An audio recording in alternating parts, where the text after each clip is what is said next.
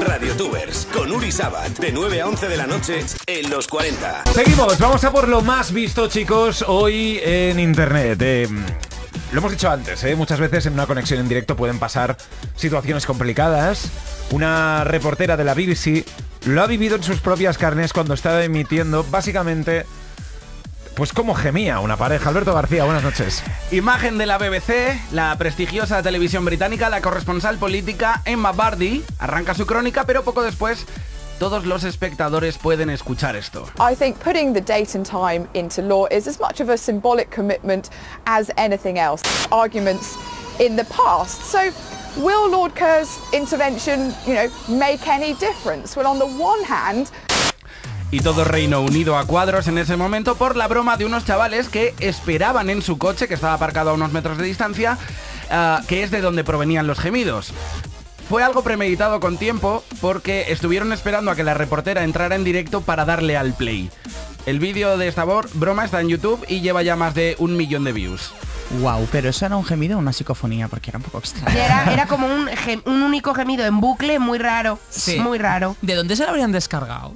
Pero además, es que, porque la gente, yo de verdad, regaladme vuestro tiempo. Ya, ya. Para sentarte en un coche a esperar a que la reportera de ahí para darle al play a unos gemidos. Dadme vuestro tiempo, lo exijo. De a lo mejor querían como muchas reproducciones en su YouTube o algo así. Hombre, sí. Visitas fáciles, ¿no? Visitas fáciles porque tiene un millón de reproducciones el vídeo de YouTube, pero pero se les ve. Hombre, ¿se sabe quiénes son? No se les ve, no se les ve. Da igual, pero consigues views para tu canal. Ya me gustaría a mí que tuviésemos algún vídeo con cariño, Nunca Tú El algoritmo nos. Yo voy a haceros una, una propuesta y es que no sé si vosotros reconocéis los gemidos a, a, primera, a primera vista. Sabéis que es un gemido sexual, ¿verdad? Por supuesto. Por ejemplo, ¿no? Por ejemplo. Vamos a hacer un challenge. Vamos a hacer un challenge y yo os voy a poner a los triplets y a María Rejón y a todos los que estéis en casa donde estéis, unos sonidos. Tenéis que decirme si son gemidos sexuales o gemidos de tenis.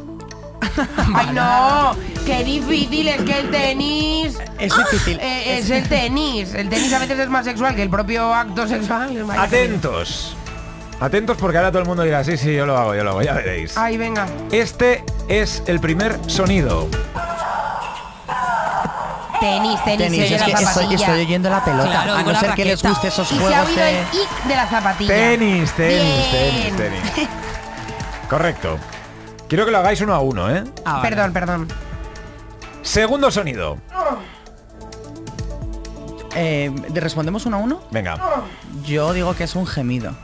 Yo digo que, además es... está corriendo. Sí, es porno. Es Yo voy a ir contra corriente. Yo digo que es tenis porque es como muy corto.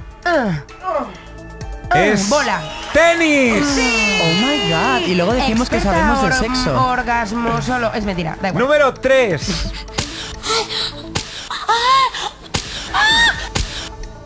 A ver, esto es un gemido clarísimo. Pornos, porno. Este sí, este sí.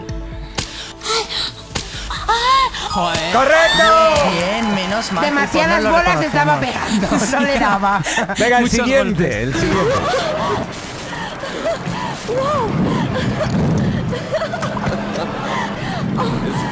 Pero si se está riendo. Se está partiendo el Al culo. principio pensaba que era una película de terror, pero luego me da cuenta que era una mujer. Una, disfrutando. una tenista no se ríe mientras juega. Está bien Está bien concentrada. Esto es Y la pelota tarda mucho, o sea, tarda Sí, más en llegar. no puede ir yo tan sí, seguido. es, es peli. Es porno. peli. ¡Correcto! ¿Tenemos otra?